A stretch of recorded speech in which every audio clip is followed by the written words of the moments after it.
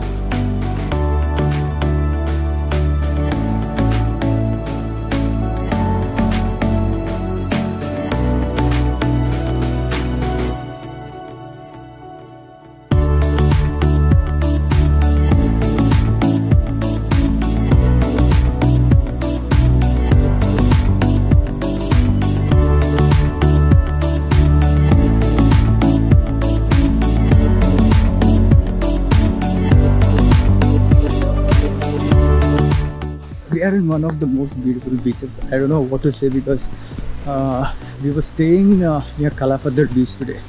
And we just headed towards the side and it started raining. And uh, we just came saw a beach on this uh, road and we just came here.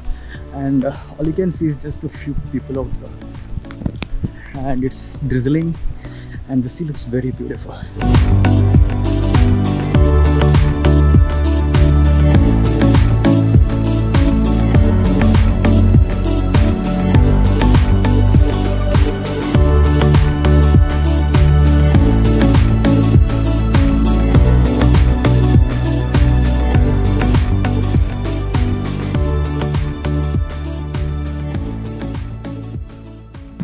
three of our uh, trip to Andamans and today we are gonna do the scuba diving here with a company called Havelock Diver. So uh, it starts by 8 o'clock in the morning because that's the time when the water is also clear and the cost is around 3500 during season time and 2500 during the season. So let's see how it's gonna be.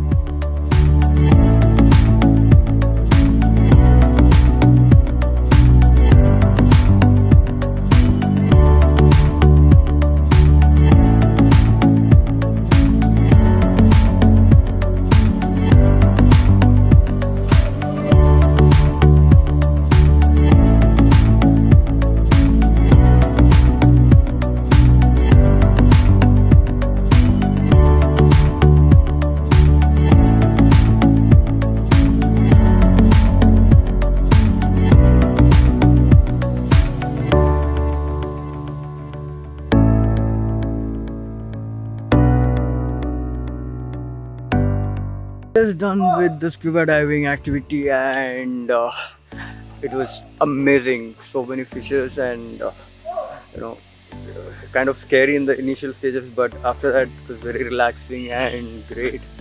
So i'll definitely recommend you to do scuba diving when you are in andaman because the spot is really great